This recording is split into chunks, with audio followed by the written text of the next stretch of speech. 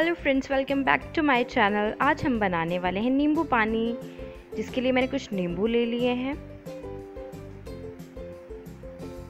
Covid time चल रहा है विटामिन ज़्यादा से ज़्यादा लेना चाहिए। इसीलिए आज हम बनाएँगे नींबू पानी।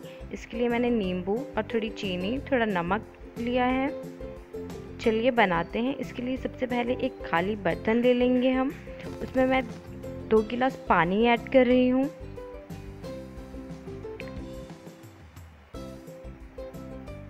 ये मैं दो लोगों के लिए बना रही हूँ, इसलिए मैं इसमें दो गिलास ही पानी ऐड करूँगी। इसके बाद मैं इसमें तीन चम्मच चीनी ऐड कर रही हूँ, दो गिलास के लिए। तीन चम्मच चीनी के बाद हम इसमें ऐड कर लेंगे नमक। नमक मैं आधे चम्मच से थोड़ा ज़्यादा ही इसमें ऐड करूँगी।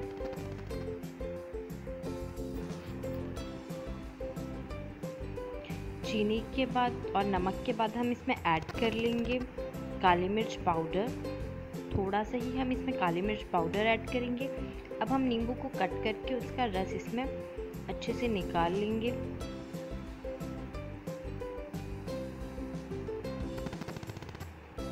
यहाँ पे मैं इसमें दो नींबू ऐड कर रही हूँ। इसके बाद हम इसे स्पैचुला की मदद से अच्छे से मिक्स कर लेंगे। हम इसे तब तक अच्छे से मिक्स करते रहेंगे जब तक हमारी चीनी अच्छे से घुल ना जाए।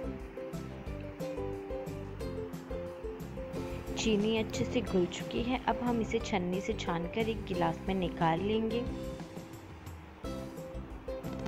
ये हमारा नींबू पानी बनकर बिल्कुल तैयार है। कोविड का टाइम चल रहा है विटामिन सी लेना बहुत ही ज़रूरी है। और ऊपर से गर्मी भी है, गर्मी में नींबू पानी बहुत ही अच्छा लगता है और काफ़ी हेल्दी भी रहता है।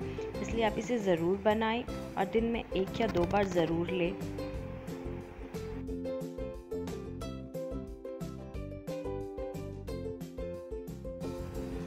Thanks for watching